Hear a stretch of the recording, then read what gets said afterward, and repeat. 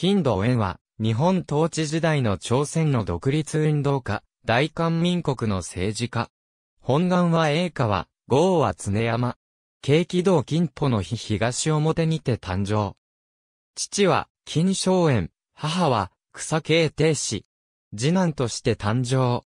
7歳の頃から漢字を学習。対局学校で初等教育を受け、広市制中学校に進学。学生時代1913年に日本に留学し、近城学校尋常中学校3年生に編入学。半島中学会という組織を作って活動。卒業後は、慶応義塾大学理財科に入学。朝鮮系留学生による組織、朝鮮留学生学友会で、総務として各種活動を主導。キリスト教青年会総務の白南を支援し、青年会会長を務めた。1919年、2.8独立宣言に参加。渡米し、コロンビア大学大学院で1922年に経済学修士号を取得。アメリカン大学大学院で博士号を取得。その後、アメリカにて朝鮮語新聞31新報の発刊活動に参加。日本統治時代の朝鮮での活動1927年に朝鮮半島に帰国。4世代学校教授として招聘を受けた。1930年代後半、独立運動団体工業クラブにて活動。1938年5月18日、ソウル西大門警察署は交流中の院、松室明の供述に基づき、金土園が工業クラブの参加者であると報告を行った。その後、朝鮮製紙会社に参加し、監査役として活動。資本金30万ウォンを投資して、朝鮮工業株式会社を設立。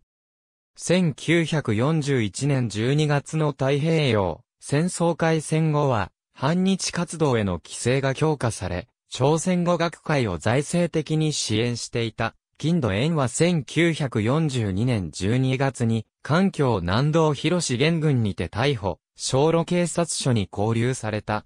以後20ヶ月間、未決州として、観光刑務所で過ごした。韓国民主党決闘第二次世界大戦終戦後、金土園は、韓国民主党の決闘に参加した。1946年2月14日、非常国民会議の最高政務委員に選出された。政府樹立後1948年8月、アメリカの承認を得て、大韓民国政府が樹立されると、初代財務部長官に就任。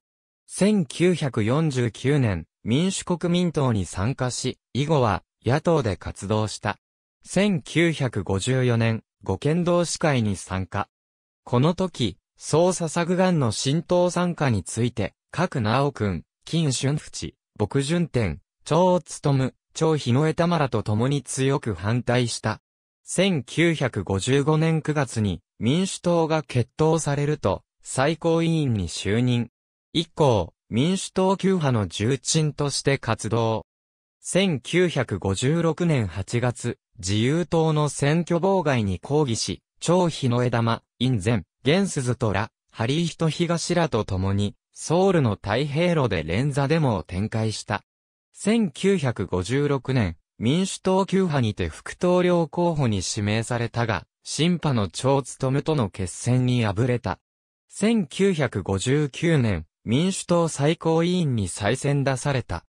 第二に共和国1960年4月革命によって、李承晩大統領が退陣した後、同年7月に民議員で実施された大統領選挙にて2票を獲得した。1960年7月、議員内閣制を骨格とする第二共和国が発足。8月16日、イン前大統領は同じ民主党旧派の金土園を国務総理に指名したが、3秒差で否決された。2日後、代わりに指名された民主党新派の超務が国務総理として承認を受けた。金土園はこれに反発し、イン前大統領を中心とする民主党旧派は分党を宣言。1961年2月に新民党を決闘、委員長に就任した。1961年の5.16軍事クーデターにて一度政界を退いたが、1963年に、長を務む、クレヌキ、エイ、ゲンスズトラ、総財戦、牧順天らと共に、民主党の再建に参加。以降、野党政治家として、政治活動を継続した。軍事政権期間1963年3月16日、国家再建最高会議議長、牧世紀の定期により、軍事政権指導者と、旧体制指導者との間で会合が実施された。軍事政権側からは、金広志勲外務兼国防委員長、劉明取材教委員長、交渉明文社委員長らが参加。旧体制側からは、金土、円のほか、前大統領院、前、前国務総理バリ沢省、初代国務総理李半石らが参加した。会合では、軍事政権側が3.16声明を発表することになった経緯について説明を行った。金土円はアメリカなどの国でも大統領候補が19人も名を連ねることがあるのだから我が国で政党が多すぎるなどと憂慮する必要はないと述べ、旧体制側の政治家の政治活動を規制する政治活動上下法を問題視した。牧世紀は国が滅びた後で愛国者と評価されても無意味だ。逆賊と罵る者がいようとも国を立て直すと反論した。結局、両者の間で着地点が見えないまま会合は終了した。1963年3月16日、牧世紀は3.16声明を撤回することなく、軍政延長を宣言した。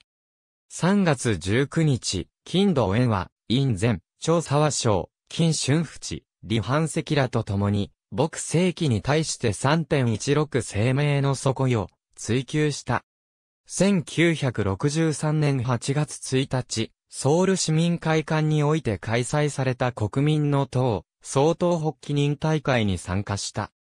民政党代表委員期に日野江呂、新政党委員長、虚勢、民友党顧問李半石が、党の共同代表となり、金土、縁、李当たる春、李仁氏、安弘省、先鎮官が、党指導委員に選出された。